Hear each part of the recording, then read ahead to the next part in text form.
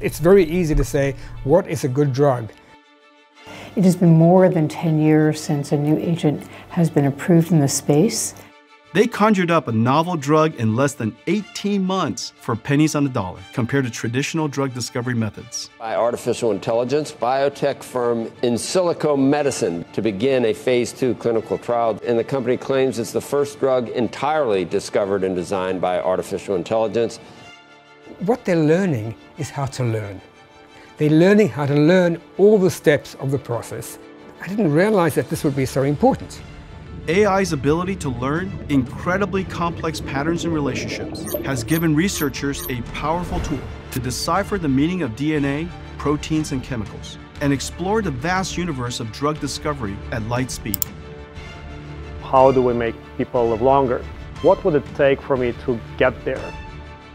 For the first time, we see that an AI-generated drug is actually helping patients breathe better and recover part of that lost lung function that they lose due to the disease. Today, Insilico is at the forefront of the digital biology revolution. Let's say there is no medicine, okay? We are beginning a new culture where this medicine starts from ground zero. We would certainly do it differently.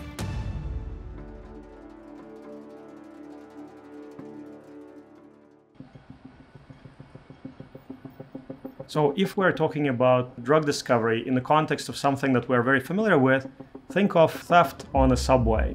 So imagine a subway line which is experiencing quite a bit of theft by a small group of people or one individual who is disguised in a mask and looks like pretty much everybody else. First of all, you need to describe that thief and pinpoint the thief to the crime. And then you need to have the perfect police person who would go into the subway and catch only that thief and not anybody else.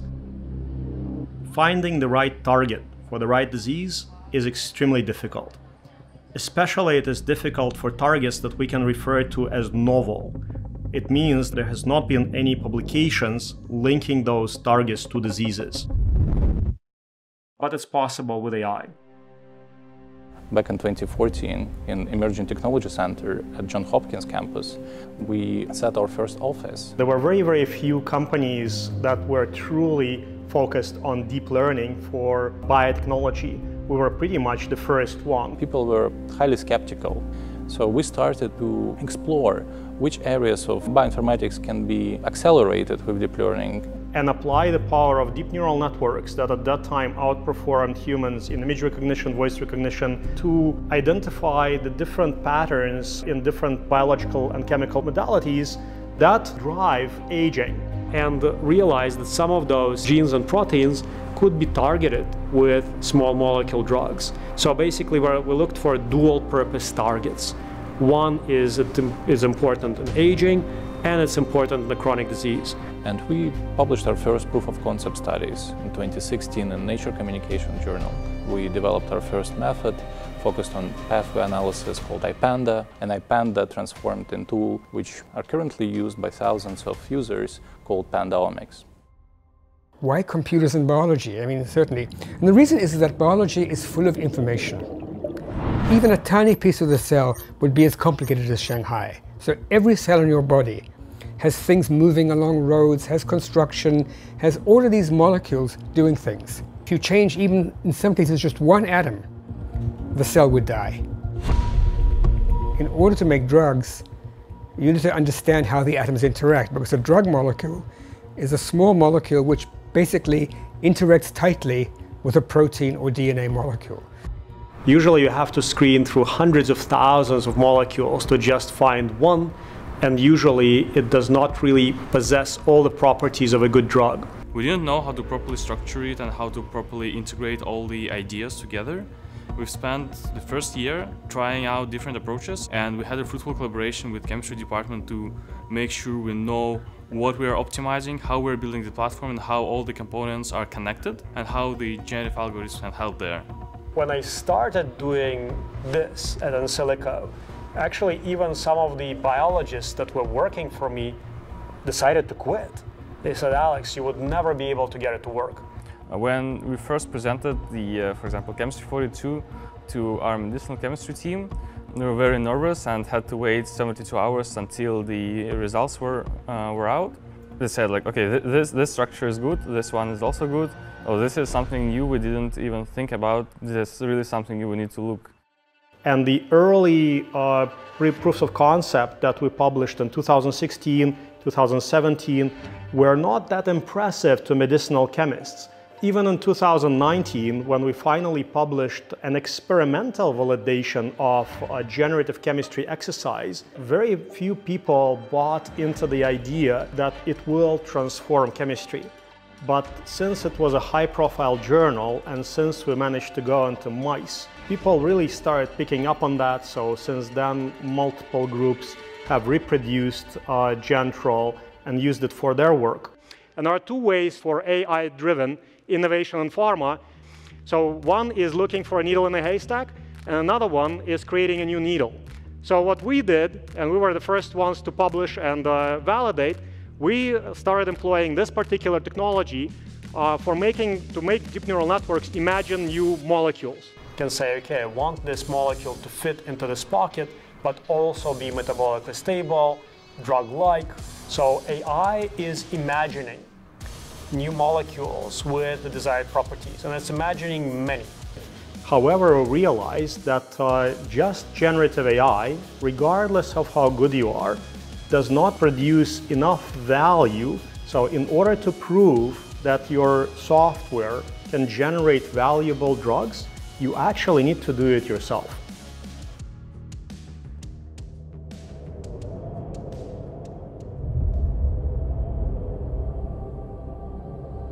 once you go big and try to utilize your AI for drug discovery, you need a completely different set of expertise. For that, we had to partner with a truly amazing scientist. He managed to build a team of really experienced drug hunters that can take the molecules produced by AI to the next level. We start from the people of three and we grow to uh, more than 150 within uh, one and a half years. It's a fully integrated drug discovery team. Everybody believes AIDD can provide the innovation and also acceleration. We want to find some novel targets that work on the fibrosis. Our AI team comparing fibrotic patients' data with the healthy people's data from uh, 20,000 genes, we actually were able to nominate a very promising candidates for fibrosis treatment. And we nailed down TNIK as the target we want to pursue. Back at that time, there's no chemistry starting point. Once we gave our Chemistry42 the structure of that TNIK protein, and it gave us uh, hundreds of compounds, and our medicinal chemists uh, select 78 and we do the synthesis and testing.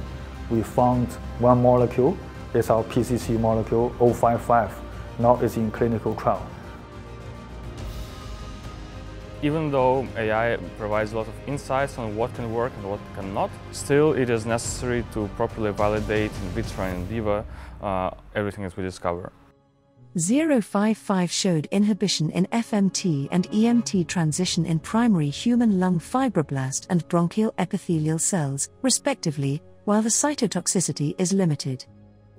Moving from in vitro assays to in vivo models, we explored 055 therapeutic potential in lung and kidney fibrosis.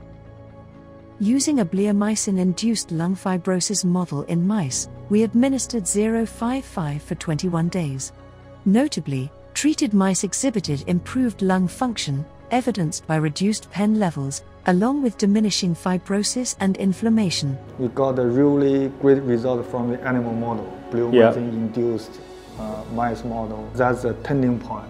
Yesterday, we got the 14-day tox data for at least one of our lead compounds, which is really great. It gave us a good therapeutic window.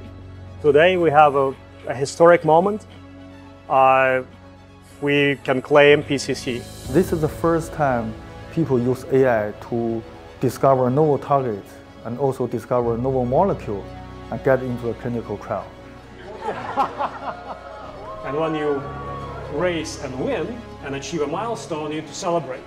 So today we're celebrating, right? So let's celebrate first in humans and race to phase two. And right now I actually want to get Dr. Ren on stage, and he is the true hero of this. So Dr. Ren, you know, first in human, um, yeah, and um, thank you. Thank you. Combining novel target, novel molecule is an infinitesimally lower probability success task. Even without having domain expertise ourselves, we trained AI to outperform humans in all of those areas and create a general purpose engine that allows you to do all of that. I like about this is it was not done by luck. You know, sometimes in life you find amazing things because you're lucky. And many drugs are discovered accidentally. They design a drug for A, and they find out that it actually works for some different disease B. But here I think it's more the, the method, it's more the procedure which is revolutionary. Its safety and tolerability as well as pharmacokinetics were validated in two separate randomized, double-blinded, placebo-controlled phase 1 clinical trials. Clinical studies are conducted in phases. Phase 1 is usually safety, phase 2 is efficacy, you show that it works in the disease, and phase 3 combines both. Biotech firm Insilico Medicine beginning human trials of a drug developed and the company claims it's the first drug entirely discovered and designed by artificial intelligence to begin a phase two clinical trial. Join us. Under four years, we managed to start phase two human clinical trials. It has been more than 10 years since a new agent has been approved in the space. For the first time, we see that an AI generated drug is actually helping patients breathe better and recover part of that lost lung function that they lose due to the disease. Today, we are announcing positive top-line results of ISM 001055 for the treatment of idiopathic pulmonary fibrosis, developed using our proprietary end-to-end generative AI engine. Uh, we do have very nice results showing a dose-dependent uh, improvement in efficacy over a 12-week period. Patients taking 055 showed dose-dependent improvements in their lung function. At the highest dose, 60 mg once daily, there was an average improvement in forced vital capacity, a measure of lung function. This means that with treatment, patients were able to breath in and out more easily, while the standard treatment just slows down the worsening.